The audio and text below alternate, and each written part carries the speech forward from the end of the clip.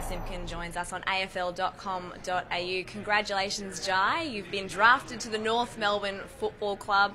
Has it just been a whirlwind experience? Yeah, thank you very much. Um, yeah, it's been crazy. It's um, such a relief that uh, the nights finally came and my name's been read out. So, it's yeah, a childhood dream come true.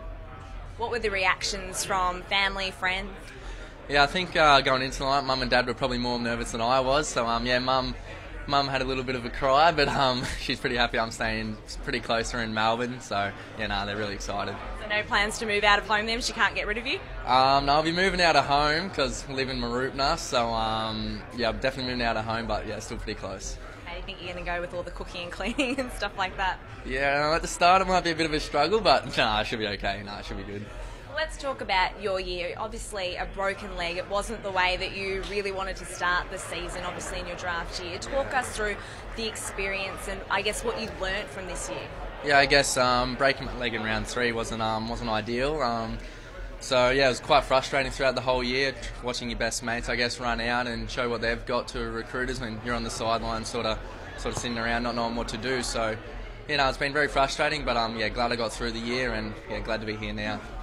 So, what was the process? Did you get any advice from anyone to concentrate on anything else during that time?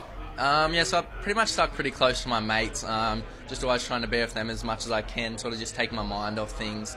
Um, you know, sort of just working to my rehab as, as much as I could to yeah get back as quick as possible.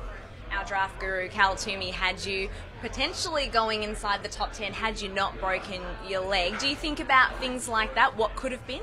Um, well, it's sort of on your mind, I guess, every now and again, but at the end of the day, everyone's if you get drafted, you're on a list, and a number doesn't really matter. So um, yeah, just stoked to be a part of North Melbourne. And how's the leg now? Take us through where you are in your rehab process.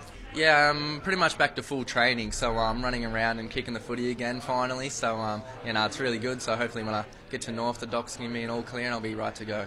You have full confidence that it's all good now, and you've got full speed and all that kind of thing. Yeah, definitely. Yeah, definitely. And who are you most looking forward to meeting in the uh, Kangaroos locker room?